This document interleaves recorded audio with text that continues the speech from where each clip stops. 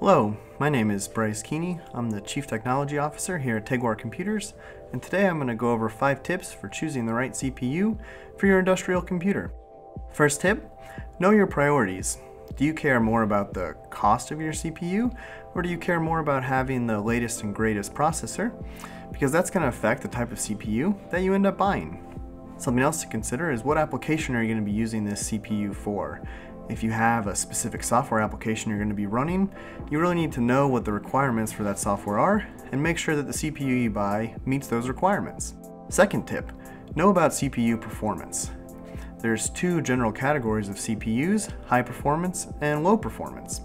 Intel calls their high performance processors the Core i series, such as Core i3, i5, and i7. These are great for applications where you need to make real-time decisions on complicating inputs, such as if you're monitoring product on a production line, you need to take pictures of it, analyze those pictures, and make decisions in real time, you're going to need a high-performance processor. On the other end is low performance. These are often known as the Intel Celeron and Intel Atom processors. These are great if you're running one application that's fairly simple, like you're attached to a barcode scanner and you're scanning barcodes into a web-based ERP platform. One way that you can directly compare CPU performance is with a Passmark score. Passmark score gives you a tangible number that you can use to compare two different processors. Tip number three, consider the CPU's power consumption and temperature. Generally, power consumption and temperature correlate with performance. So if you have a higher performance CPU, you're gonna draw more power and you're gonna create more heat. So if in your environment, you need to watch for how much power you're consuming or how much heat you're producing, you may need to go with a lower performance CPU. One metric related to power consumption and temperature is the TDP, or Thermal Design Platform. This is a number that you can find on Intel's website that allows you to compare how much power different processors will be drawing. My fourth tip for choosing a CPU for your industrial computer is consider the length of support offered on the CPU.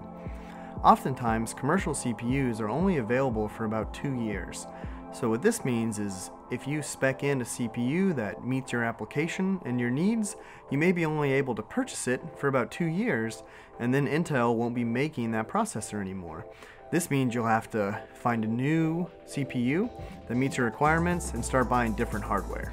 We can address this by using Intel's embedded roadmap, which is a list of processors that Intel promises to produce for a longer period of time, oftentimes up to 10 years.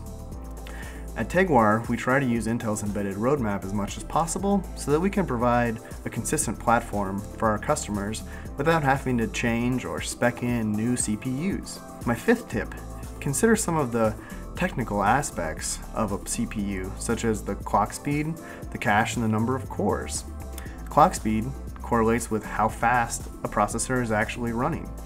The cache has to do with the amount of storage that's actually on the processor. So it's like RAM, but it's actually built into your CPU. And the number of cores is how many tasks your CPU can do at one time. So these are my five tips for how to choose a CPU that's right for your industrial computing needs. But don't feel like you need to take on all these questions alone. You can always call Teguar and we can help walk you through the process of choosing the CPU that's right for your industrial computing needs. Thanks.